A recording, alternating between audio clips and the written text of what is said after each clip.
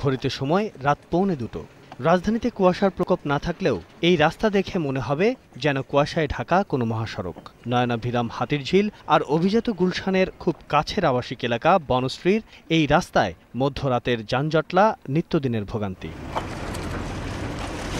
এলাকাবাসীর ভোগান্তি তো রয়েছেই। খানাখন্দে ভরপুর এই রাস্তায় চলাচল করা বড় বড় যানগুলোর চালকদের অভিযোগেরও অন্ত নেই। প্রতিদিন মনে করেন যে দশটার দিকে গাড়ি সারি বাণিজ্য মেলা যাই হয়তো দুইটা আড়াইটে বাজে সকালে পৌঁছাতে পৌঁছাতে ছয়টা পাঁচটা বাজে এরকম রাস্তা খুব কষ্ট হয় আপনার। এই- রাস্তা লাগে অনেক রাস্তা ঘুরে যাওয়ার লাগে। আমি দুই ঘণ্টা ধরে জামায়াত করেছি। রাস্তা কাজ করলে আমরা খুব শান্তিতে পাবো। এদিকে অচিরেই ভোগান্তির অবসান ঘটবে বলে আশ্বাস দিলেন এলাকার কল্যাণ সমিতির প্রতিনিধি। রাস্তার সংস্কারের কাজ শুরু হয়ে গিয়েছে।